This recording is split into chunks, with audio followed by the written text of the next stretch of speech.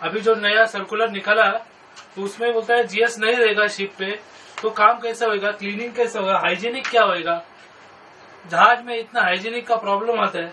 अगर साफ़ सफ़ाई नहीं रहेगा तो जहाज़ में पूरा ये हो जाएगा, पूरा हालत खराब हो जाएगा पूरा। इसलिए मैं ये अभी जो सुना तो बहुत गलत है, जिसमें जहाज़ में आदमी लोग कम कर रहे हैं। कुक को जितना वर्कलोड बढ़ेगा आज वो सवेरे जब ड्यूटी पे आता है तो शाम को ड्यूटी से बाहर चला जाता है। तो उसको बीच में कुछ आराम नहीं है। अगर उसमें भी जीएस कम करेगा तो कुक कैसा काम करेगा? मैं इतना ही बोलना चाहता हूँ फॉरवर्ड यूनियन बहुत सीमेंट लोग के लिए बहुत अच्छा है।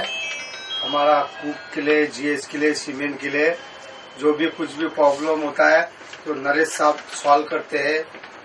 अगर हम लोगों का पंद्रह तारीख को ये जो चल रहा है स्ट्राइक का हम लोग उसमें साथ में है। सभी कुक उसमें साथ में रहेंगे साथ में रहेंगे। और आखिर तक रहेंगे। क्योंकि इस पे हम लोगों का अन्याय है हमारे ऊपर। हम लोग अकेला क्या क्या करेगा?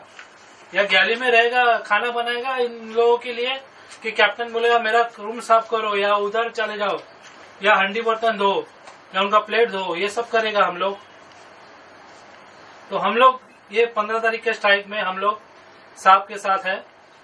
और हमेशा ही रहेंगे।